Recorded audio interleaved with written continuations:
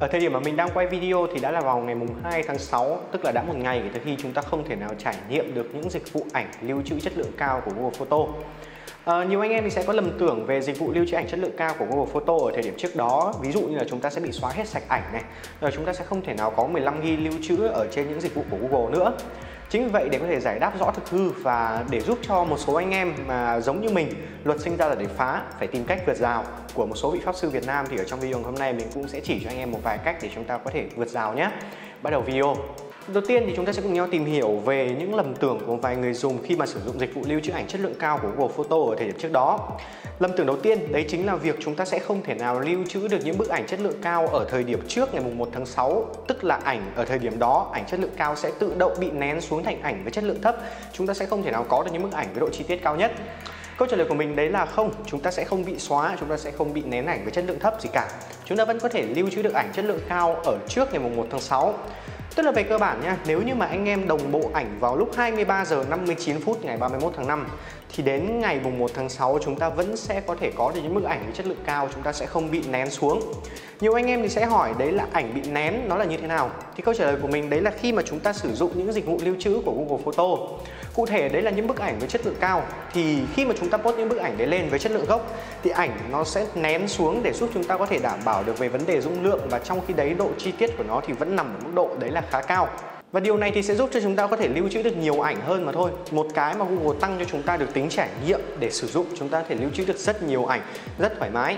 Và thông thường thì chúng ta sẽ có 15 GB để chúng ta có thể lưu trữ được ảnh ở trên những dịch vụ ví dụ như là Google Photo hay là Google Drive. Nghe đến đây thì nhiều anh em sẽ thắc mắc một chút, đấy là khi mà chúng ta sử dụng những dịch vụ lưu trữ như vậy thì 15 GB ở thời điểm hiện tại có thể sử dụng được ở trên một số nền tảng như là Google Photo hay Google Drive hay không? Câu trả lời của mình là có. Google Drive thì mình không nói ở đây. Cái mà mình đang nói ở đây là dịch vụ lưu trữ ảnh chất lượng cao của Google Photo cơ mà thì nếu như mà để nói dựa trên ảnh với 15 ghi đấy, thì chúng ta vẫn có thể lưu trữ được những bức ảnh. Chúng ta có thể post ảnh gốc lên. Nhưng ảnh sẽ bị nén xuống và chất lượng ảnh thì một phần nào đấy cũng sẽ giảm đi. Một trong những cái mà nó sẽ là một cái mà giúp Google có thể kinh doanh được mà thôi. Và khi mà chúng ta nói đến một số dịch vụ lưu trữ tính tiền đến thời điểm hiện tại thì Google cũng đã chen chân vào khi mà chúng ta, bây giờ nếu như chúng ta muốn lưu trữ ảnh với chất lượng cao, chúng ta sẽ bắt buộc phải bỏ ra một khoản tiền để sở hữu dịch vụ đấy là Google One và nhân tiện nói đến ở đây thì mức giá ở trên dịch vụ Google One nó cũng không quá cao đâu. Nhưng mà đối với những bạn học sinh, sinh viên giống như mình chẳng hạn Mình không có quá nhiều chi phí thì chúng ta sẽ phải làm như thế nào?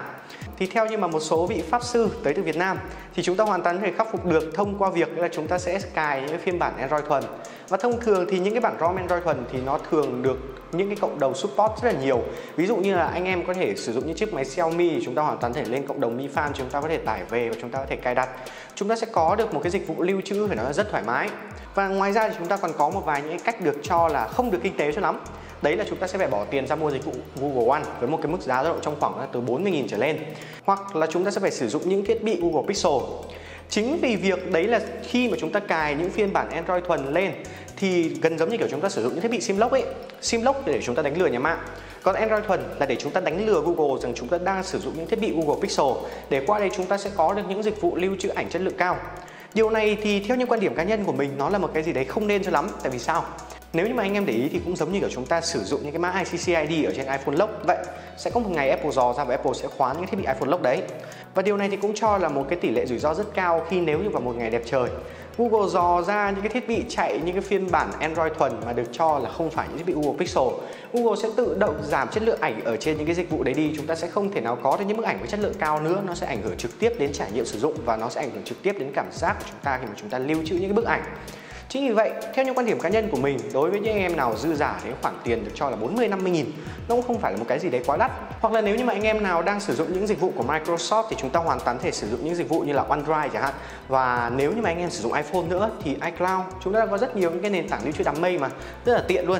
Vậy thì anh em em thấy sao về những cách vượt rào vừa rồi và một lần nữa mình khẳng định với anh em luôn đấy là cái cách để có thể vượt rào này nó không thực sự là một cách quá khả quan mặc dù nó kinh tế thật nhưng cái tính an toàn toàn có thì không cao một chút nào đâu.